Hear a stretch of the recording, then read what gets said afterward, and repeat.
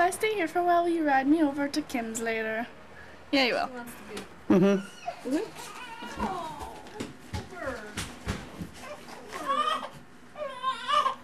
She's like, my little lips gonna quiver. looking at my naked boobies. like, what the hell? Where's the bear rug? Get the bum. oh, that looks cute. That was Kyla's sleeper. Who's They're not having it anymore. Kelly wanted to get her tubes tied, and her doctor won't do it for her Oh. because she's too young. She's only 22. Yeah. And she wanted to get that birth control shot.